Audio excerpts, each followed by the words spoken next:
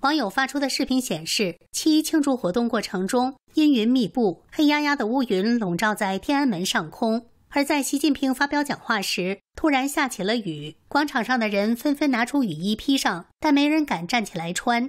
此时，习近平的讲话刚好告一段落，人们不得不一边慌乱穿雨衣，一边匆忙鼓掌。看过视频的网友纷纷感到惋惜，觉得太可惜了，没有下冰雹，昨晚下了，错过了时辰。有网友问：怎么没打雷？下面没一个是冤枉的，凸显网民对中共的反感和厌恶。